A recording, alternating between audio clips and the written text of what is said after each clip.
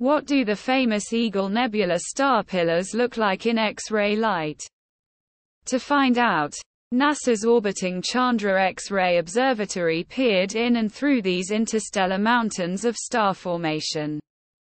It was found that in M16 the dust pillars themselves do not emit many X-rays, but a lot of small but bright X-ray sources became evident.